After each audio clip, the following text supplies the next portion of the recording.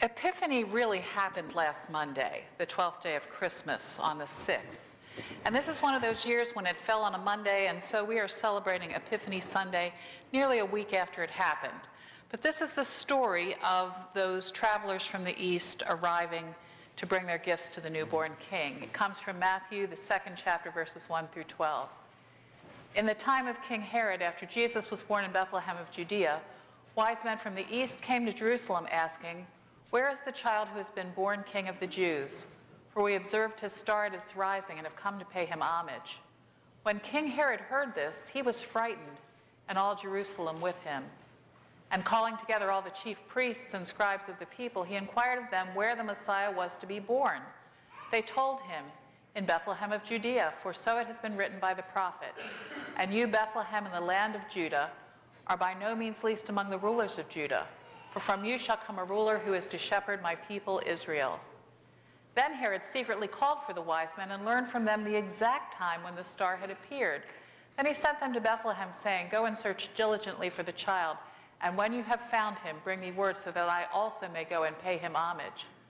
When they had heard the king, they set out, and there ahead of them went the star that they had seen at its rising, until it stopped over the place where the child was. When they saw that the star had stopped, they were overwhelmed with joy. On entering the house, they saw the child with Mary, his mother, and they knelt down and paid him homage.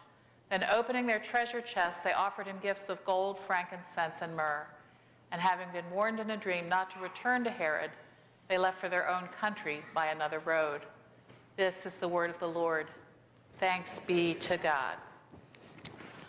How many of you have an elf on a shelf somewhere in your house? Long before there were elves on shelves, there were the three wise men, or the three kings, or the three travelers. There were always three. We have three up here today represented by three crowns, and three figures from someone's creche. Used to be that when you set up your creche, you didn't put baby Jesus in until when? Christmas Day, Christmas morning, you would put the baby in the manger. And the wise men, believe it or not, did not get there that night. They traveled a long distance. How many of you have ever taken a trip to Disney World? I know we have some, I knew you were going to raise your hand because you just got back from Disney World. Do you arrive the day you think of getting there? Probably not, unless you're going to go to an airport and buy a direct flight to Orlando. It takes some preparation. And so, what people would do, because their nativity set came with the characters, they would start out in a different part of the house. And every day they would move closer and closer and closer, not getting there on Christmas, even though every church pageant you ever has has little people in bathrobes and Burger King crowns, getting there that night. But Jesus was nearly two years old by the time they got there. And we know that King Herod, who should have known when he was going to be there, we know what he did, don't we, when he found out the time the star had appeared. He ordered the slaughter of every baby boy two years and younger in the city. It's an interesting story that we're celebrating today.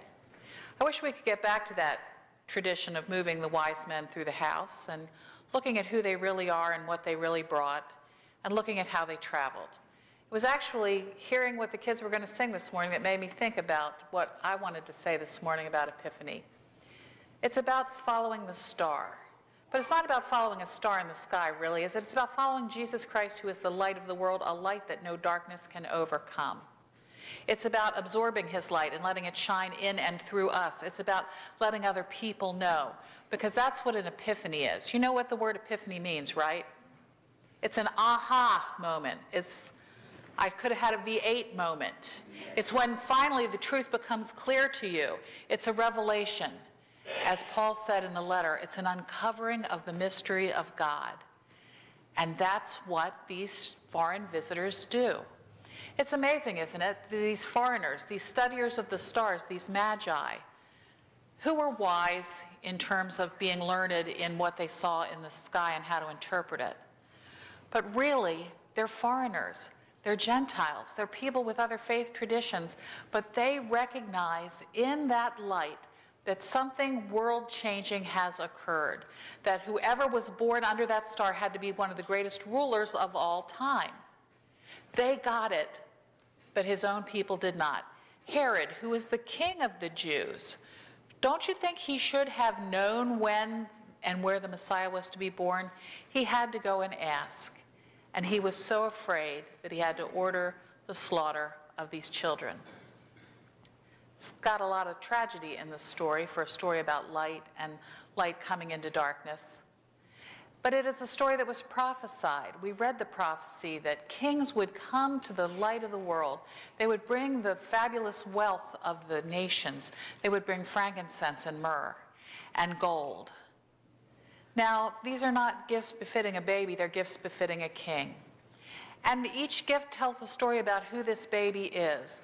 Gold, Gold is the gift that you give a king. Gold is the gift, and that's why we call them kings, because they could afford such extravagant gifts. But they had to go to great lengths to collect these wealthy treasures to bring to this new king. And gold is a gift that only a king could afford and only a king would receive. Then frankincense. Why frankincense, do you think? Frankincense was the very incense used in the temple to bring glory to God. So, by giving the gift of frankincense, they're telling us that this isn't just a king, this is a deity, this is someone to be worshiped. And myrrh, the saddest of all. Myrrh was the spice used to anoint a body to prepare it for burial. We're going to sing the song that everyone associates with Epiphany. You've been waiting to sing it, I'm sure. We three kings. Glorious now, behold him arise, king with gold God with frankincense and sacrifice myrrh. Jesus Christ, born as a human yet fully divine. And when they arrive, King Herod lies and says, I want to worship him too. But he is so frightened by this little toddler born to poor people that he is going to go to extremes to make sure that this threat to his reign ends once and for all. We know the rest of the story, don't we? Joseph is warned by that angel again in a dream to take the child and his mother, and they flee as refugees to Egypt to protect him from the king. Refugee is not a dirty word. Refugee is not a political term. It is exactly what happened to our Lord and Savior at the time of his birth. And I often think when I read about refugees in the news, about what it must be like to have to pick up with the clothes on your back and leave to save your life or the life of your children. But that's how God comes to us. God comes to us in the frailty of a human infant who grows, whose life is threatened along the way, but who continues to love and to serve and to proclaim who God is. I said I loved the song the kids sang this morning, and they were talking about what happens when the star is obscured. How many of you know what a sextant is? Not a sextant, a church sextant. What's a sextant? It's for celestial navigation. It's a device that they use to study the stars, to be able to tell where the star was in relation to the horizon, so that sailors at sea or others could get their bearings. And it's wonderful, isn't it, to look up at a sky full of stars? Have you ever been out to the far west where there are no lights, where there's no light pollution at night? It's like a different sky because you can see so many stars. And one thing that I'm missing, having moved here from West Virginia, is seeing stars at night. I see reflection of lights from Reisterstown Road at night. But how do you find your way when the light is not there, when the clouds cover the light. I think the clouds that cover the light for us sometimes are not literal clouds, but there are things that obscure our ability to see the light of God in Jesus Christ. What are some of those things? For Herod, it was fear of losing his kingdom and his power and his palace because he was a one who colluded with the Roman Empire against the will of his people and his God. So sometimes jealousy and power hunger can obscure the view. What are other things that obscure our view of the light of Jesus Christ today in the world? It's not a rhetorical question, you get to answer. Toby.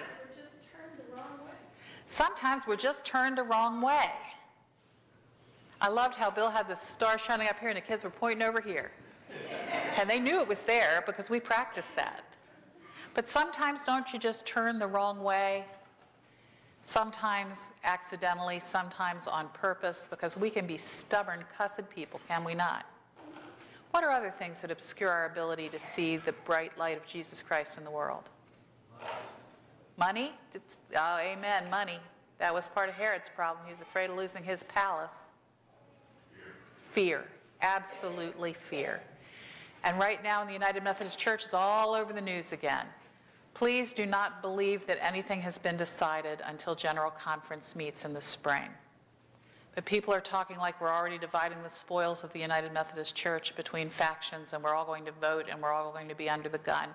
Something is going to change. We know that, but we don't know yet what it's going to be. But we cannot let that kind of fear stop us from seeing the light of Christ and reflecting that light in the world. So fear can certainly obscure our view of Christ in the world. What else can obscure our view?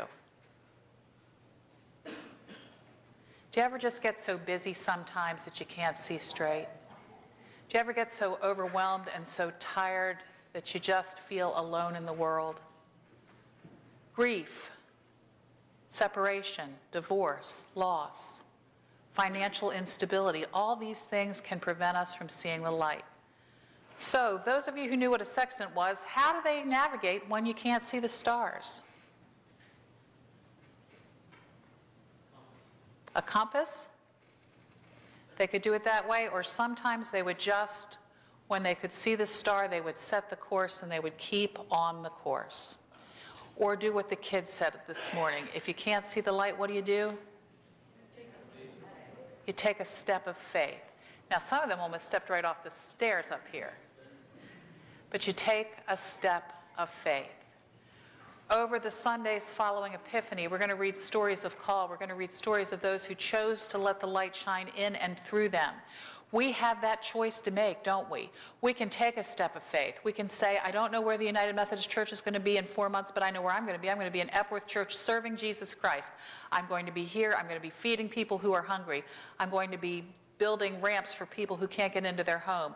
I'm going to be here serving. I'm going to be teaching the next generation the stories of our Savior and our Lord so that they know who it is that we worship and why it is that we're here, why we're together.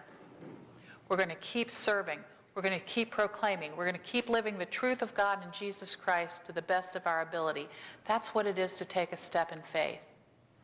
There have been times in my life, I can tell you, when seeing the light was very difficult. The death of my husband made it sometimes seem like such a dark night I didn't know which way to turn. That's when I remembered the promises of God my Savior and that's when I was able to continue to keep walking no matter what. That's what we're called to do. We're called to be the light.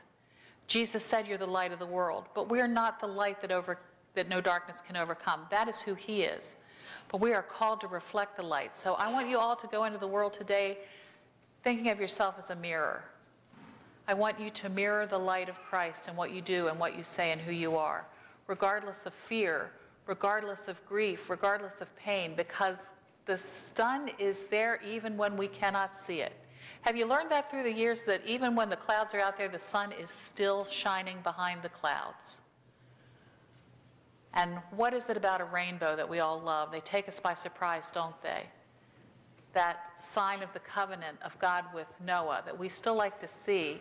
How many of you go out and look for rainbows if it's raining and a little sunny at the same time? You look because you know it's got to be there somewhere. Just remember, you always see a rainbow most clearly against the darkest part of the sky. Now, I don't want us to be people who only pray or worship when things are bad, because sometimes we can tend to do that. But when the sun is obscured by the clouds, or when darkness threatens to overcome you, go to the source of the light. Find Jesus Christ, and if you can't find him on your own, call someone sitting around you here and say, I need you to help me because my vision is dim. I need you to help remind me and lead me and walk beside me. Because we are called to lead others into the truth of Jesus Christ. So if you can't see the star at night, or you don't feel the sun shining during the day, trust in the promise and take the step of faith, and Christ will lead you where Christ will have you go. The light is always with us. Learn to trust the light. Learn to trust the light and be like a wise guy and follow wherever the star leads you. Amen. Let's